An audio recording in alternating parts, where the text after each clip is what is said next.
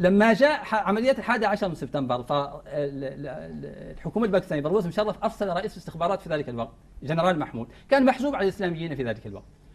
جاء وقدم طلب للملا عمر من باكستان على أن هذا طلب أمريكي. قال له إذا سلمتم الشيخ أسامة بن لادن طبعا الشيخ هذه من عندي ليس من عندهم.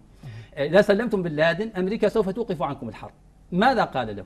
قال له لن يعير أبنائي بعدي ولن يسجل التاريخ.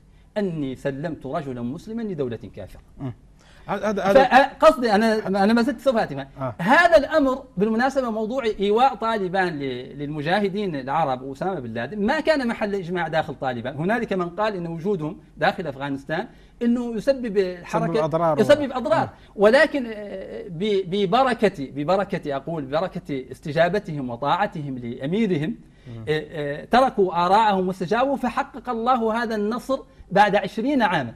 بعد عشرين عاما.